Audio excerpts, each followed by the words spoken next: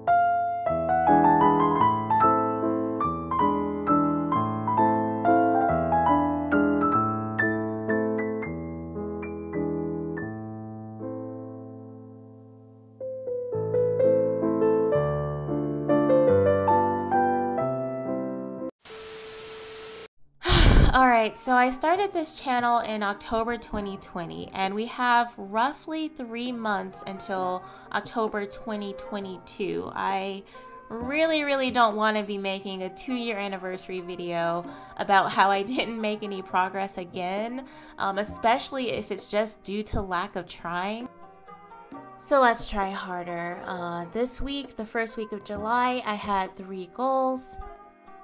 The first goal was 120 hours of fasting. That would have been a three day and a two day fast this week. Um, instead, I only fasted for 19 hours on one day. My second goal was no takeout, uh, but I did have takeout twice out of the seven days.